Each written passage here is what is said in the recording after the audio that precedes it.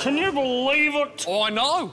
The last sitting of the parliamentary year. Not that. Can you believe the new menu at the cafeteria? Oh, don't get me started. Oh. It's all vegan this and chickpea that. Bloody Bob They'll be they'll be banning us from wearing deodorant next. You're having showers! Oh. Who's this turkey? That one? Yeah, that turkey there. Well, that's an actual turkey. Oh. We're staging a Thanksgiving ceremony in honour of the American alliance. Do we get to eat it? I doubt it. It's more about the symbolism of the turkey itself rather than the actual consumption of turkey flesh. Well, that is very disappointing. I don't make the rules, mate. Even so, if you're going to wave a symbolic turkey around, at least sling us a drumstick. It does smell nice, doesn't it? Oh, it does smell nice. It does smell nice. It does smell nice. It does smell nice. Oh, it smells nice, doesn't it?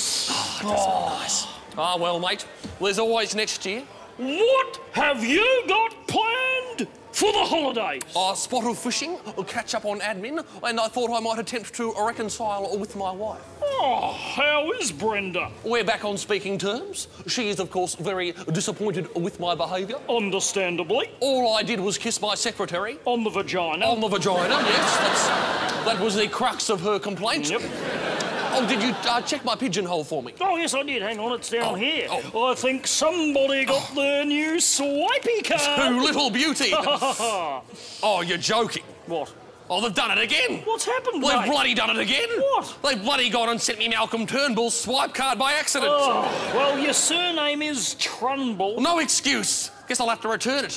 What, Mr. Turnbull? What, what, Mr. what, what, Turnbull. no, no, no, shut up, shut up. What? Don't be too hasty. He'll be missing it. Well, this is a platinum parliamentary swipe card. It's only available to ex-leaders, this little beauty. Exactly. Why, the person holding this swipe card is allowed unfettered access to every corner of the building. The executive gym, The plunge pool. the cigar lounge, The reading room. the massage parlour, and the creme de la creme. the holy Canberra Grail, The secret bunker buffet. They say it's safe from nuclear fallout and could adequately flee the government and shadow ministry for a straight six months. I heard Keating spent four weeks down there getting his strength up before challenging Hawkie. I hear there's a personalised axe served with every meal to behead the chef if the food's not up to scratch. We've hit the bloody motherlode, mate! We'll be down there feasting away like bloody... Yeah, like bloody... Fred Flintstone and Barney Rubble. like Fred Flintstone and Barney oh, Rubble. Oh, they were great comedy characters, weren't they? Not like nowadays. Oh, how hard is it to create a memorable comedy character? Character. Catchphrase. Repetition. Character. Catchphrase. Repetition. Character. Catchphrase. Repetition. And a little twist at the end. And so on until you've got a memorable comedy character.